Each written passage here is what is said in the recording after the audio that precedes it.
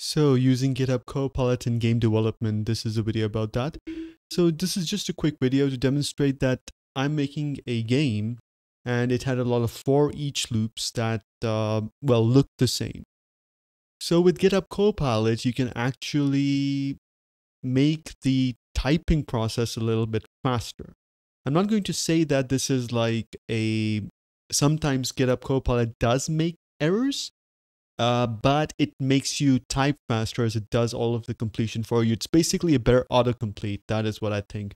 So you can see that this is right now, I'll try to show it to you if you can see it, that this little area over here, this is basically uh, in gray as this is the suggestion that Copilot gave.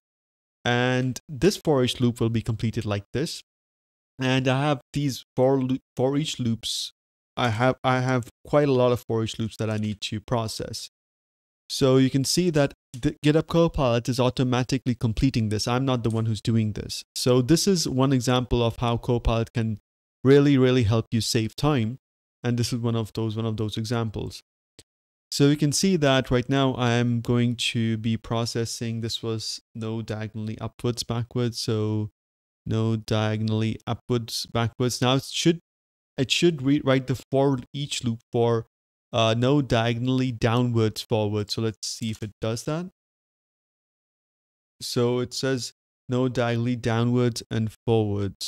So upwards and backwards, which is this, downwards and forwards.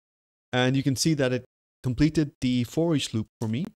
So this is an example. You, if you invest in GitHub Copilot, it will help you achieve this faster. Otherwise, uh, you will probably have to write everything on your own. So it just it helps you save time, reduce costs, and offer better prices to your clients as some of the work is being done. That does not mean that it automatically does all the logic for you because sometimes you have to give GitHub Copilot something to work with.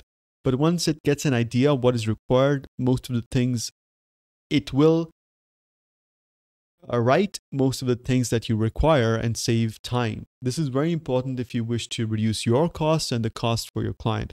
So you can see that right now it's nodes diagonally downwards backwards. So let's see node diagonally downwards backwards. Now it automatically knew that I want to process node diagonally left forward. And it actually found that out. And now it's going to write that. And of course, it doesn't glitch, that is. This happens on JetBrains. This is sometimes sometimes it happens on JetBrains that it doesn't properly format things. So this is just an example of uh, GitHub Copilot for you.